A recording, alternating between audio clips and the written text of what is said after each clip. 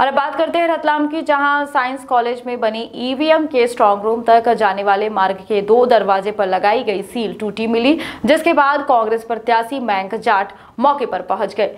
दोनों दलों के प्रतिनिधियों की मौजूदगी में व्यवस्था बनाने की बात कही। उन्होंने सील टूटने को संदिग्ध बताया। इसके बाद कलेक्टर नरेंद्र सूर्यवंशी, चुनाव आयोग के प्रेक्षक डॉक्टर अशोक भार्गव की उपस्थिति में स्ट्रांग रूम का निरीक्षण कांग्रेस प्रत्याशी व प्रतिनिधियों को करवाया। स्ट्रांग रूम के तीनों कमरों पर लगे ताले व सील सही पाई गई। पिछले रास्ते पर ताले की सील टूटी होने को लेकर कलेक्टर ने कहा कि उस मार्ग का कोई महत्व नहीं है।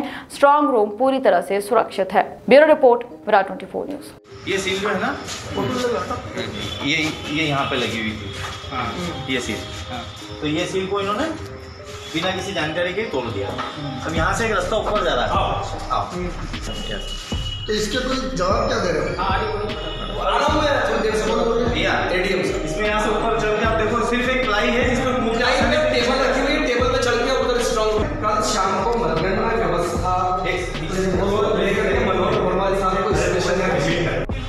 यहाँ से सीधा आदमी जाएगा पत्थर रुक के वापस खुल जाएँगे वो सीधा स्टॉक रूम में पहुँच जाएगा।